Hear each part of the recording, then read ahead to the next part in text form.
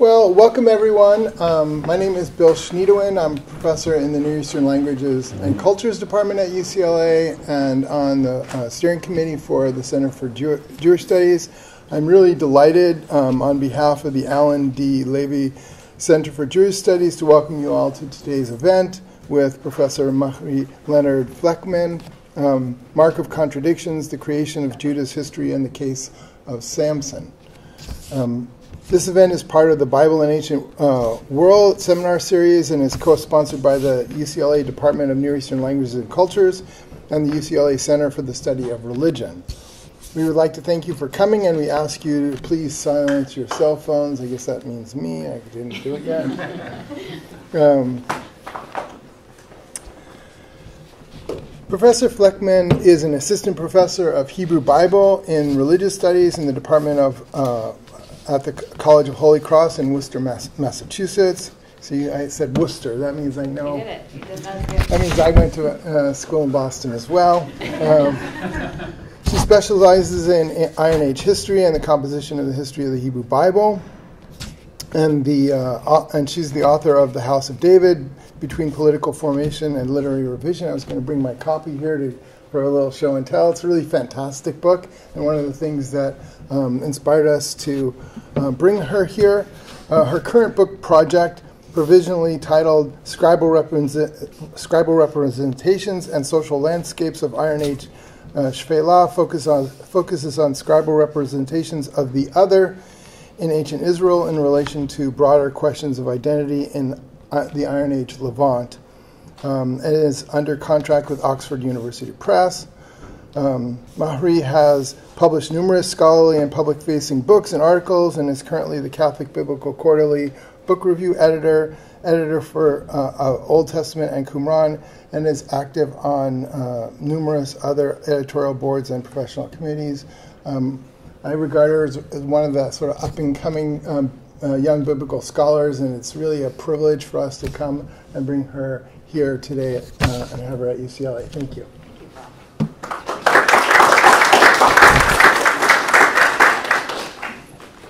Well, thanks, Bill. I really appreciate that very kind opening.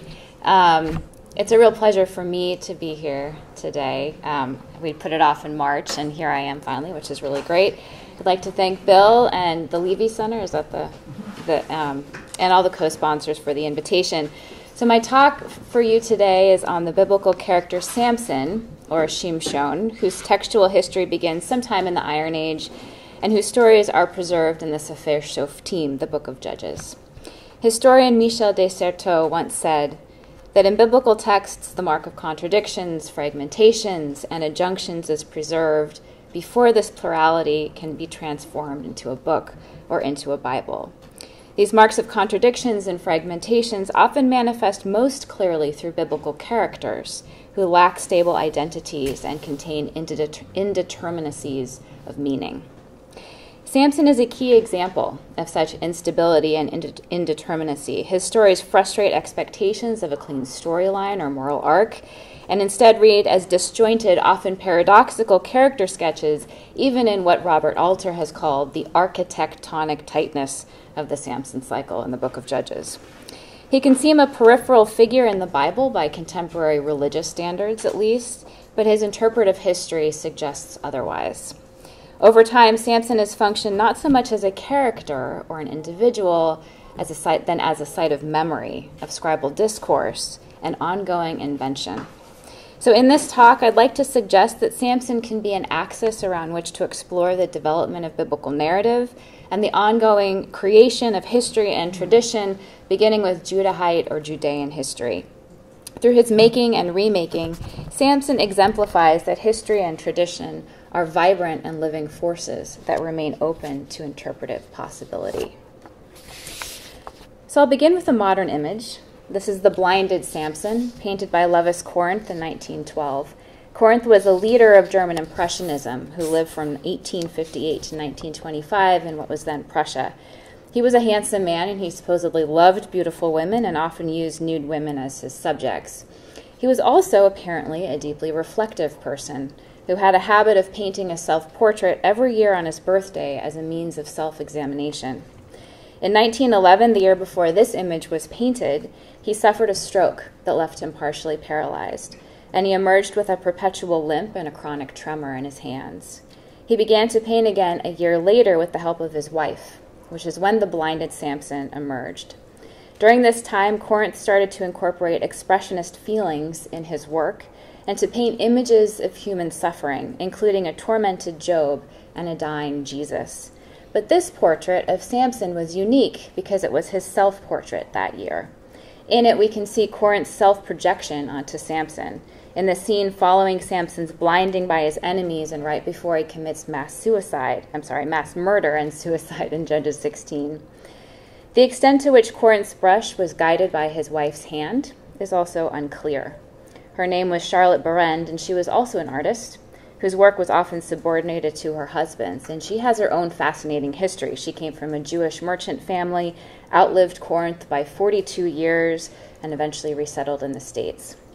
Corinth himself died from pneumonia in 1925, and his work was later condemned by the Nazis and put on display as degenerate art.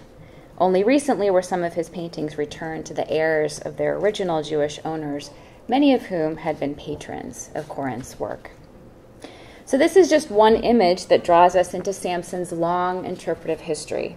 He has passed through many stages, beginning with his tales or vignettes in Judges 13 to 16, some of which, according to Susan Niditch, may be as old as Israel's origins and may themselves draw from a repertoire of older mythological legends. If so, the hazy prehistory of these stories is lost to us. We can only make educated guesses about their development. These tales include the following, as you can see on this slide the tale of his divine conception in Judges 13, Samson and the lion, followed by Samson and the unnamed woman around Timnah in Judges 14 to 15. Uh, the men of Judah, or the Ish Yehudah, who appear later in Judges 15. A very brief mention of Samson and the prostitute, or the Isha Zonah, a woman, a prostitute in Gaza, Samson and Delilah, which takes up the majority of Judges 16, and then his death at the end. Some of these stories may have circulated independently before they were drawn into what we call a Samson cycle and combined with other judges or savior figures in an early Judges scroll. By placing his stories toward the end of the book of Judges, between the savior figures of chapters 3 to 12 and what we refer to as the appendices at the end, Samson becomes a way station and a bridge between the declining period of the judges and the rise of er- the early monarchy in Samuel. But he also resides somewhat awkwardly in his present location. The figures who precede him reside north and east of Judah, and they arise in moments of crisis to go to war against an oppressor, leading a local group to victory. These figures are commonly thought to derive from northern traditions outside of Judah that are later recast as Judah's history. In contrast, Samson resides in a liminal southwest space between the coast and the central highlands. He leads no political group, and he is neither obviously Israelite nor Judahite. His role in the judge's narrative is an enigma, and scholars don't often know what to make of his textual history, but he takes up more space than any other judge's figure. And Cheryl Exum argues that there have been more interpretations of Samson than of any other biblical character, she writes that Samson can be anything from, quote, heroic fool, foolish hero, trickster, tragic wild man, comic bandit, tragic comic trickster, terrorist, foolish freedom fighter type of Israel, fool for love, Nazarite judge, negative example, and hero of the faith. So, what was the scribal fascination with Samson? And why did his stories end up in the book of Judges? So, for the remainder of this talk, I'd like to take a deep dive into the Samson stories to explore these questions. I'm going to walk us through these stories that I've just outlined on the slides, um, their internal contradiction, plaus- like plausible process of, de- of development, and simultaneously, I'll combine that with Samson's role in early Jewish history and reception history as he's slowly crafted into a Judahite or Judean hero and anti hero. As we explore Samson in the Judges text and his interpretive history, we'll see how malleable he is as a character in Judges and in early Judaism and Christianity. The ongoing scribal interest in Samson is demonstrated in the first century CE most prominently by the historian Josephus, through whom Samson becomes unambiguously Judean for the first time. and through New Testament writers who craft Samson into a hero of faith. Though a certain dis-ease with Samson develops in the rabbinic period, he was simultaneously viewed increasingly as a messianic figure in both Judaism and Christianity. Since then, interpretations of Samson have continued to proliferate in religious and non religious contexts. So, at the end of this talk, I'll kind of turn and offer some thoughts on Samson in relation to the development of biblical narrative and the so what question about why this matters for history more broadly. All right, so let's begin with Judges 13. The Samson narrative opens with this story of divine conception and birth. An angel appears to an unnamed woman, the wife of Manoah. She is the story's key figure, not her husband, who's characterized in the Talmud as an ignorant, boorish person. Like many biblical accounts of miraculous conceptions, an angel appears directly to the woman and tells her she's going to have a son. The child is to be a Nazir Elohim, one const- consecrated to God, not of his own volition as an adult, as the laws stipulate in number 6, but from the moment of his conception. The woman's womb becomes the space of consecration and she is the one who receives the dietary restrictions of those making Nazarite vows. She's not to consume wine, other intoxicants, or eat unclean food until maybe his birth or maybe after he's weaned, the, the story number says. This chapter is the introduction through which we view the entire Samson narrative that follows. According to its opening verses, Samson will be a lifelong Nazarite and will begin to deliver Israel from the Philistines. This is also one of the most mystical texts in the Bible, containing a remarkable description of the Ish Elohim, the man or the angel of God, whom Samson's mother describes as most awesome, and who refuses Manoah's request for his name by saying, Why do you ask my name? It is wondrous. Like the angel or man who struggles with Jacob in Genesis 32, the divine messenger evades the human desire to name and categorize. Manoah wants to feed the angel, but angels don't eat. So the angel suggests that Manoah offer the meal to God. He does, and the angel ascends in the flame of the offering. Judges 13 is the theological driver of the Samson narrative and of many early religious interpretations of Samson. The name Samson or Shimshon links to Shemesh, sun, and he acquired a mythological aura in rabbinic texts that described him as akin to God, who, like Samson, was a sun and shield, drawing from Psalm 84. According to Tractate Sotah, when Jacob pronounced his final blessings over each tribe in Genesis 49, his blessings over the tribe of Dan were meant for Samson, who not only governed his people, but shielded Israel just as God shielded the whole world. In Josephus's first century rewriting of these texts, he mag- magnifies Samson's characteristics to describe the child as one who would save Israel and as a prophet with a prudent or self controlled lifestyle. The New Testament letter to the Hebrews, written around the same time, describes Samson as a great man of faith alongside David, Samuel, and the prophets. Today, Judges 13 is the only portion of the Samson narrative to appear in the Jewish or Catholic lectionary cycles. In the former, it's the Haftarah for the Torah portion of Naso, which is Numbers 4 through 7. And on this slide, you can see two images from his birth narrative, which proliferate, especially stained glass images, which are all over the place. Chapter 13 is a powerful introduction. And like all introductions, it becomes the primary lens and the bias through which we read the material that follows. Yet this story may not have been about Samson at all originally, for Samson's name appears only in the final editorialized verses. The story has intertextual links with Gideon narrative in Judges 6 with the birth story of Samuel in 1, Samuel 1, which may itself have originally been Saul's birth narrative, but that's another story. Some view this birth story as quite late, created purposefully as Samson's introduction to make him seem more savior like as his stories were molded into the shape of a judge's scroll. But I would suggest that it may have had a prehistory before it was later repurposed to serve as Samson's introduction Accepting a few statements in the opening and closing verses of this chapter, it need not be about Samson at all. After Judges 13, the landscape of the Samson stories shifts dramatically. Samson's parents disappear. We find ourselves in a series of vignettes about a certain Samson, the strong man, who was reactive, impulsive, amorous, oblivious to being set apart for God, isolated from any family or broader social unit. What's key to these stories is that they all take place in a liminal southwest space, the Shephelah or lowlands, between the central highlands and the coastal plain, and specifically around Timnah and the Sorek Valley. This is an area that was marginal to the core geography of Judah, arguably, throughout much of the Iron Age and certainly in the Second Temple period. According to the complex archaeological portrait of the Iron Age Shephelah, each site in the region had a slightly different social and political history, and political affiliations vacillated from site to site, especially prior to Sennacherib's campaign, which was in 701 BCE.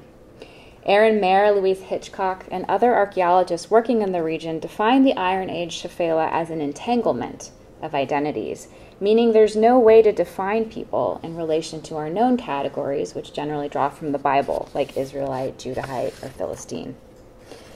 The Samson stories are the only biblical tales in which this region comes to life socially. Its geography embodied through individual characters and social groups.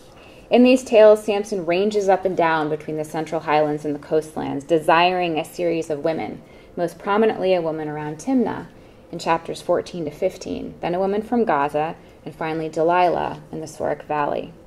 These women lie at the center of the Samson tales like geographical objects and abused figures, while men circle around them and have violent encounters through them. These men include the stereotypical Philistines, the enemy other from the coastlands, the Timnites, somewhere betwixt and between, the Ish Yehudah or men of Judah from the highlands, who enter the story in Judges 15 as somehow other to Samson, and then, of course, the lone ranging Samson, who is locatable generally in relation to the women around him, who themselves are marginal figures. Gradations of otherness, of social and geographic liminality define these strange stories. Neither monarchy nor empire nor temple is in view, at least explicitly, and Judah's role in the scene is brief. Some of these stories could be quite old. The oldest one is likely the first that we come to in this series of vignettes the encounter between Samson and a lion. Samson tears a lion apart with his bare hands, then returns to the carcass a year later to find a swarm of bees and honey in the animal's remains, which he scoops out and eats. Even though this vignette appears directly after his birth story, it's dissonant with that story because it seems unaware of Nazarite vows, including the prohibition of eating unclean food in Judges 13 or drawing near a, corp- a corpse or a nefesh met, according to number 6. Instead, it draws from an old and ubiquitous motif of heroes who fight and tame wild animals, evidence for which dates back at least to the middle of the third millennium on pre Sargonic cylinder seals and on Sumerian seals. So, for example, this uh, modern impression on the left from a Sumerian cylinder seal depicts human, animal, and composite figures engaged in combat. So there are a bunch of lions on the far left. You can see, if you look closely, like a naked, one eyed figure towards the right. And then in the image on the right, you can see a hero, which we think is Gilgamesh, holding a lion in his left hand and a snake in his right hand. The story of a mythological figure tearing apart a lion also echoes into the Greek Heracles, whose origins appear as early as the 8th century BCE in pictorial representations from southeast ancient Greece. And some would say that the Heracles and Samson traditions draw from a similar cultural well. Like Heracles, one could argue that Samson is a mythological creature, part god, part human. He tears apart a lion only after the spirit of Adonai rushes upon him in verse 6. And we hear these words, words, V'tislach Adonai, and the spirit of, Yah, of Adonai rushed upon him, three separate times throughout Judges 14 to 15. Each time it connects his rage to divine inspiration. In a 4th century CE Roman catacomb, we find this mural alongside several other images including one of Heracles and one of Daniel in the lion's den. And if we fast forward in time, an abundance of images of unidentified heroes subduing lions appear in the Middle Ages, including this image on the right in a church nave from the 11th century, which could be Samson or Heracles, or who knows, maybe Gilgamesh. The tale of the hero and the lion has a rich history and an independent life force in varied cultural and religious contexts, and was also preserved in the tale of Samson. Following the lion, we come to Timnah and an unnamed woman. I'd like to linger on these stories for a moment because they're often considered to be the glue that holds the Samson cycle together. But unlike Samson and the lion, these tales have a varied and troubled interpretive history. The Timnah material includes a wedding or betrothal scene between Samson and this anonymous or unnamed woman, which culminates in Samson's murder of 30 men, followed by a series of vignettes of destruction and slaughter in Judges 15, beginning with the woman's. She arguably lies at the center of these tales, and her story is a tragedy, a horror story even, though she has become lost in the shadows of history. A unique visual representation of the woman comes from Rembrandt, as you see here, an eerie image drawn from the feasting scene. The woman is at the center, unmoving and unreadable amid movement, a light shining on her as she stares fixedly back at us.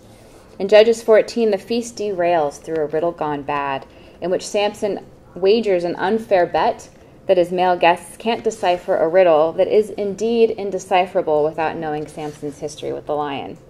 The riddle reads, Me'ha'ochel yatsa ma'achal, ume'az yatsa matok. Out of the eater came something to eat, out of the strong came something sweet. The men confront the woman, threatening to burn her and her family alive unless she gives them the answer.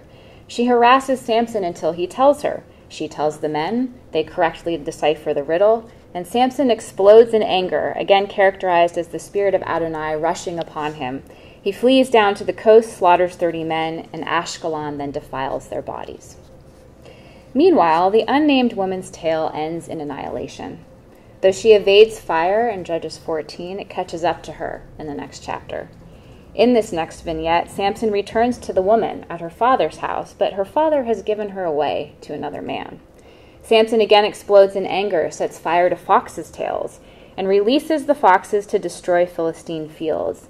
He then flees as the Philistines arrive, and when they realize what has happened, they burn the woman and her father alive, treating the woman as if she still belonged to Samson. Timnah then disappears from the Samson narratives, its geography first brought to life and embodied by the woman, and just as soon destroyed or literally burned out with her, the woman, along with the surrounding fields.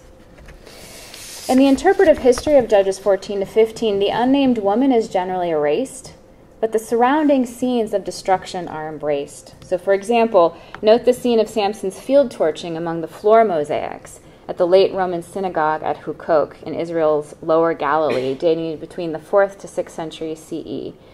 This poorly preserved image depicts the midsection of a man who is lighting foxtails. You can see him on the upper, on this right side, like on the upper left corner. And as you can see up on the close up on the left, he wears Roman garb, including what looks like an oval ornament around his knees, which is or- called an orbiculum, which is a Roman warrior's outfit. Besides the lighted foxtails, we can tell that it's Samson because he also appears in another mosaic in a Roman synagogue just a few miles away at Khirbet Wadi Hammam, wearing the same garb, and that one's on the right here. This image depicts a later scene, the one on the right, from Judges 15, following the burning of Timnah and the woman. After the obliteration of this space, the scene shifts, and the men of Judah, or the Ish Yehuda, enter the Samson narrative for the first and only time. Their goal is to find Samson, capture him, bring him back to the Philistines.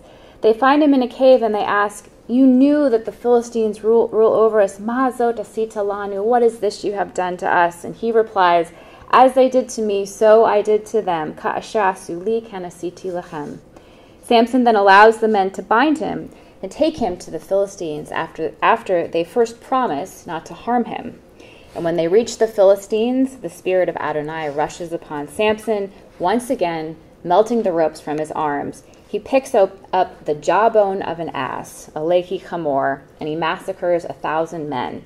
The massacre scene is what we see in this mosaic from Wadi Hammam on the right side. Where these stories of destruction and annihilation come from and why they were preserved is a mystery.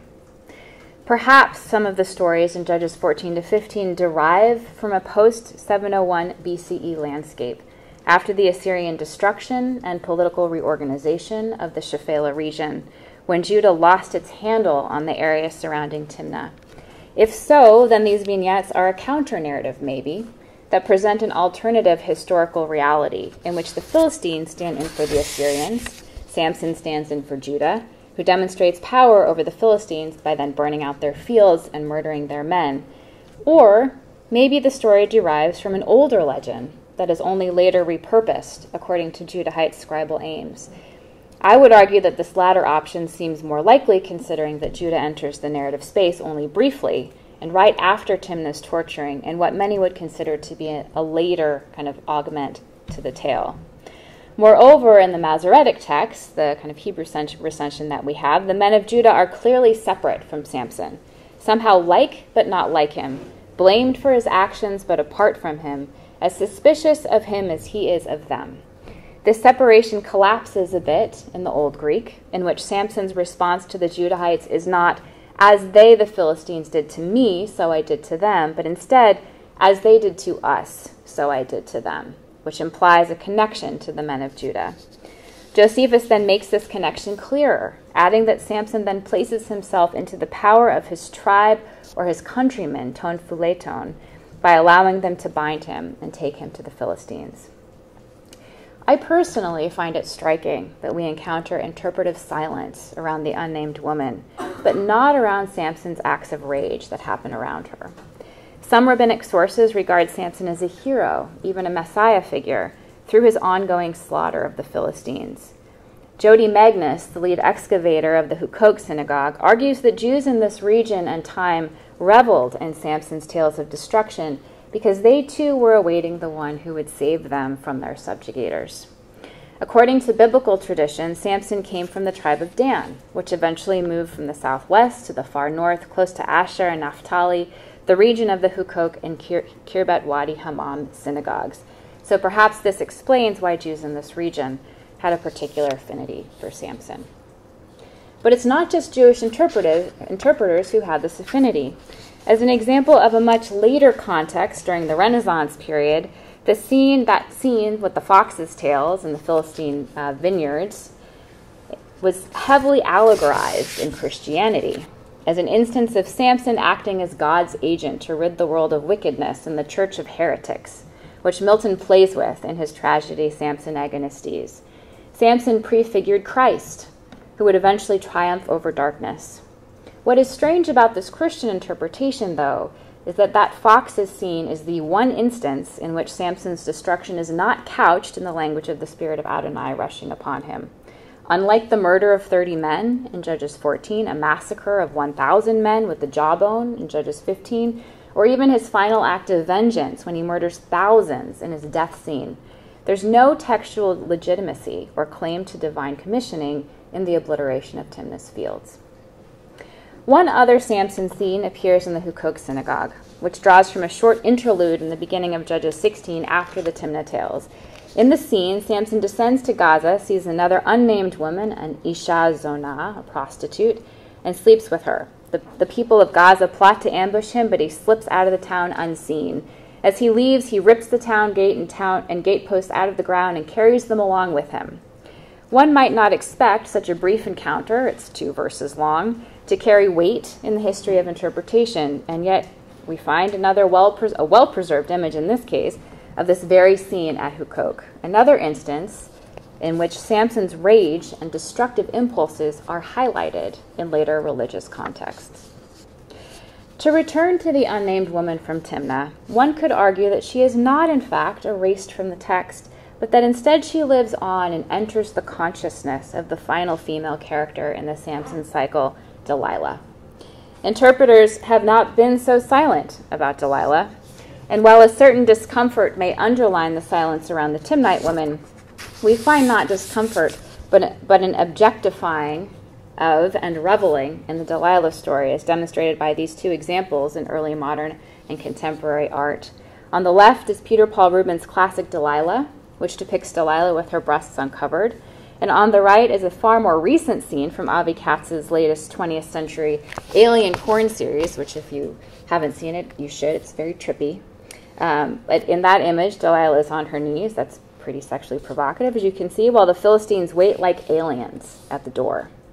And if we go farther back in time, as early as the first century CE, Josephus labeled Delilah a Philistine prostitute even though the Samson stories never call her Philistine or a prostitute.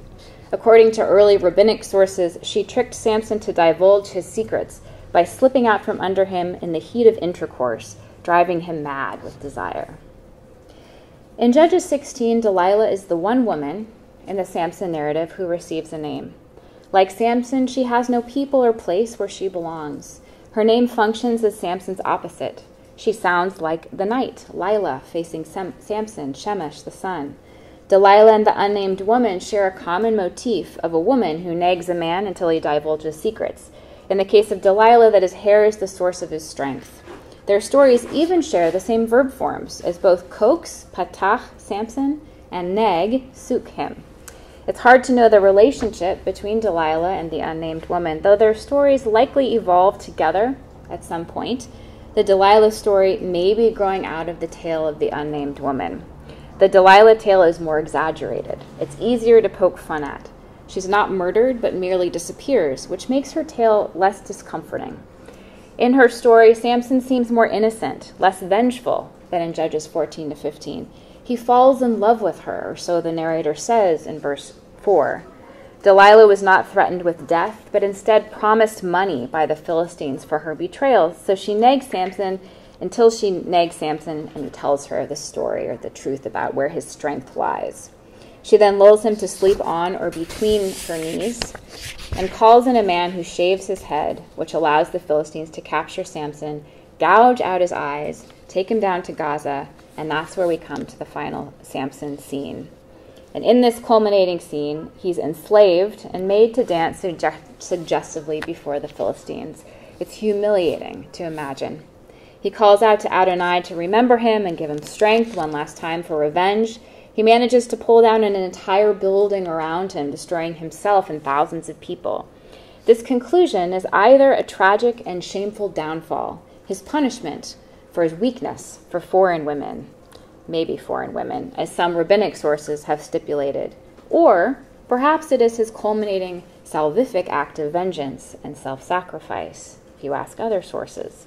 It reads as a relatively late story, and one could argue that a vision of Judah's political subjugation under foreign rule does indeed underlie this dramatic encounter between Samson, the Philistine lords, and the large mass of Philistine people as they come together to worship their god, Dagon, in the temple and make fun of Samson.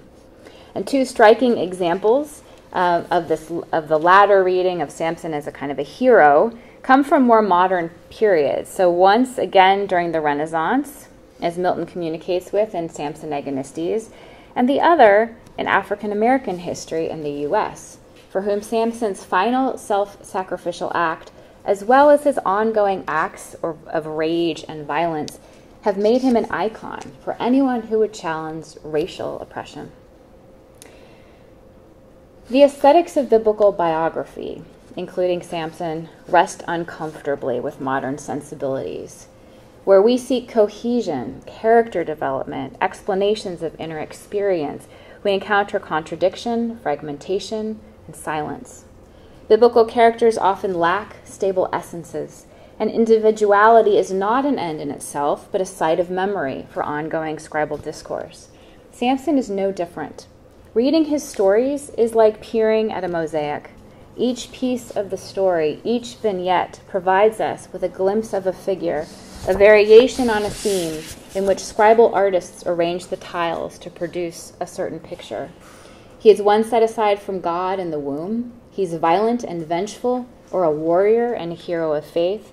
He has a weakness for women and loves them or abuses them.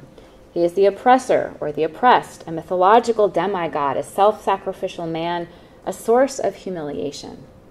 Over time, different artists arranged the tiles to produce different pictures, which we see in the history of interpretation that I've only barely uncovered today. Which picture is most pleasing depends on the criteria the viewer applies to the result, and these criteria change in long transmission and reception processes. While we may find Samson compelling as a changeable character, what I find equally compelling is how his characteristics embody Israelite and Judahite geography and history. In my view, Samson likely had a prehistory embodying a heroic Israelite figure, his tales linking to legends of heroes like Gilgamesh and Heracles, a mythological figure who tamed wild beasts and whose destructive impulses were somehow appealing to ancient audiences. We don't know when his stories were first written down or how they developed, We have no evidence for scribal practices in ancient Israel preceding the Hellenistic period, so our theories about earlier periods are inevitably conjectural, conjectural, but that shouldn't prohibit us from imagining the possibilities. I would suggest that at some point Samson's stories were drawn together with other savior figures in Judges 3 to 12 as another example of a warrior in the earlier tribal early tribal landscape of central Israel. He helped to expand Israel's tribal arena through his southwest connection. He fought against the so called Philistines, and he was loosely connected to Timnah. Whatever his narrative history, we know that eventually he becomes the linchpin in a judge's scroll between the Savior tales in Judges 3 to 12 and the accretions or additions in, in chapters 17 through 21. Slowly, over time, he transforms from a liminal Shephelah figure into an Israelite and then a Judahite, a process of history writing that we can witness partially by comparing the Hebrew, the Old Greek translations, Josephus, and ongoing interpretations. So I'll conclude with just a brief word on history. The term itself is marked by tension. Though its preoccupation is the past, its reality is present. We can never capture the truth of what was once really real. Walter Benjamin once said that the past is that which flits by us, arising in moments of present relevance and often danger, brought back to life when it is narrativized in relation to present context. Some things fall into the shadows of the past as if they never existed, but other things are and can be reborn if we just have an indelible ink or social memory of its past narrations, like the story of the unnamed woman from Timnah.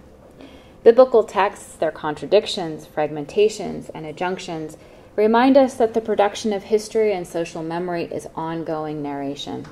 There is never a clear point where it congeals as something fixed and determined. An aspect of it can always be picked up, rewritten, reshaped. Biblical texts are unique from other forms of history writing because they preserve within them a steady stream of discourse. The rule of modern narration doesn't seem to apply to biblical texts, and scribes seem more interested in preserving the cacophony of views than in presenting a unified, consistent view of the past. It is this cacophony that makes Jewish history and tradition remarkable. As Gershom Scholem once observed, tradition is a vibrant and living force, presenting not a unified or consistent view, but one that is diverse, multifold, and full of contradictions. The purpose of tradition, he said, was to hold these contradictions with astounding seriousness and intrepidity, as if to say that one can never know whether a view at one time rejected may not one day become the cornerstone of an entirely new edifice. In other words, tradition and history have changing modes of existence that are possible precisely because of the careful preservation of contradictory views within ongoing contexts of production and reception. In recognizing and leaning into the complexity of textual formation and tradition in biblical texts, including the Samson stories, perhaps we come closer to understanding the intentions of our scribes as they shaped Jewish history. I believe that these ancient texts also have something crucial to teach us today in terms of our own ongoing social and political discourse about the recent past, about the possibilities and the dangers about how we remember, remake, and forget our own living history. Thank you.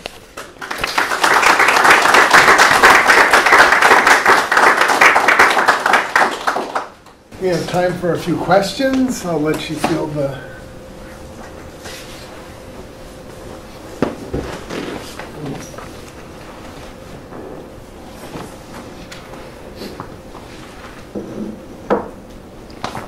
Um, hi, thanks so much. I really enjoyed the talk a lot. I was kind of curious. I really like the framework of Samson around different women, like as being the the situations that the stories kind of come out of, and I was wondering um, like how you think that fits into the treatment of women in the book of Judges as a whole.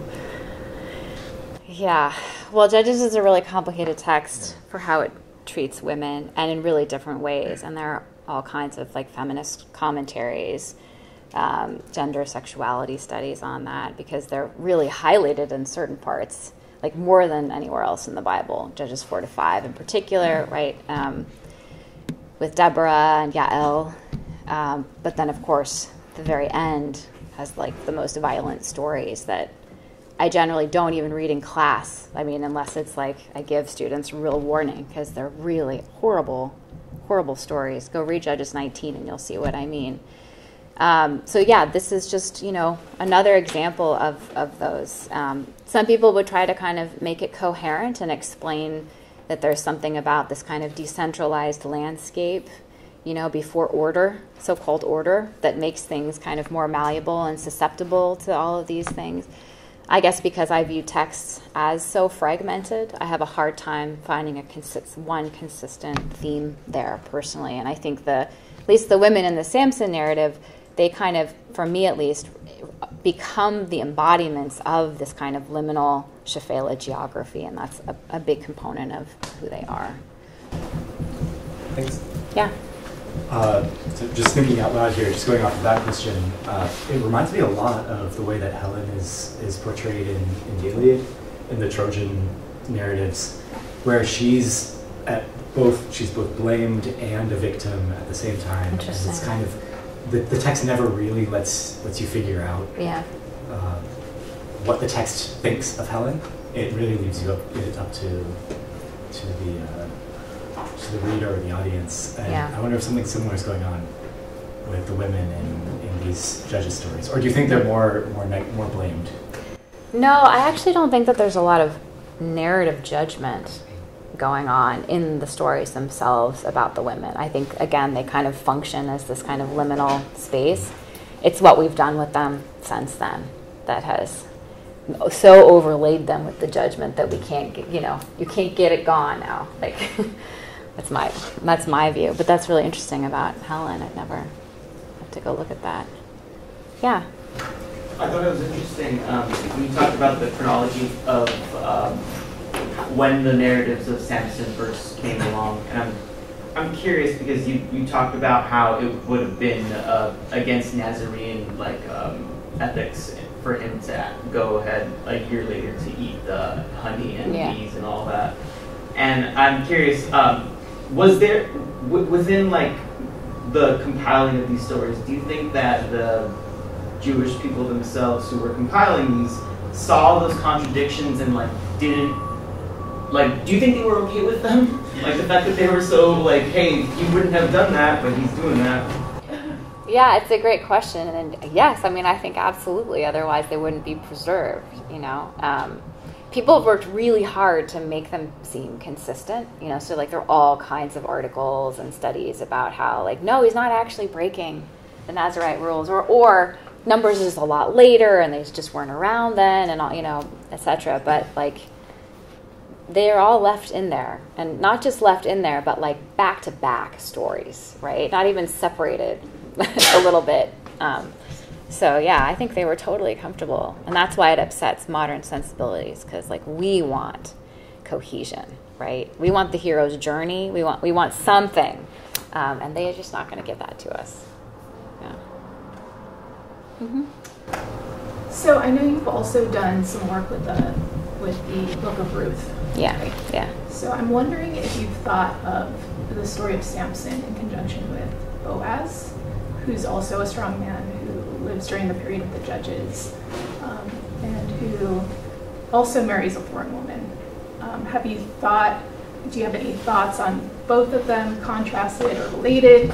Um, do you also see the Book of Ruth as, or Boaz as kind of this embodiment uh, of kind of Israelite, Judah, Judahite um, Yeah. history. So just wondering if you have Yeah. any thoughts on any of this. Yeah, that's a great question. I mean, the short answer is no because I think Boaz is elevated, like in no uncertain terms, as this kind of kind of perfect figure, right? He does what he's supposed to do.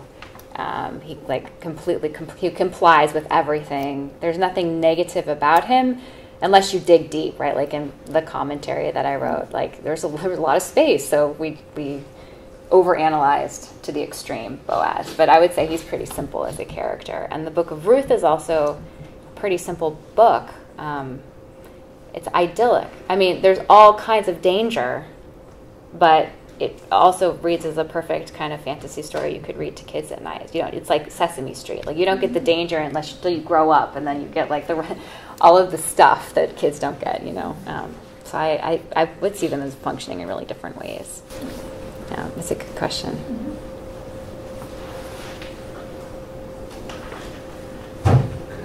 Yeah. Two questions. First of all, is there any significance to the name Sam's son? Because it's son of Sam, you know, like, is there a Sam, you know, is it any Sam or as far as that? The other one is, there was a weird book made in 1920 called Judge and Fool, which later on was the basis the 1949 Cecil B. DeMille uh, by a guy named Jablonski or something. And I was wondering if you had any comment on that one. I've never heard of it. Judge and Fool. Yeah, it was actually, um, Go look it up. Yeah, I've never heard of that. Um, as for Samson, I mean, his name Shimshon in Hebrew doesn't have any relation to like what we would think of as like son of. Um, but that's where you know potentially he's kind of linked to Shemesh, which is sun. Um, and some people would connect him to a certain site in the Shephelah, which is Beit Shemesh, um, because of his name as well. Yeah. Thanks for the reference.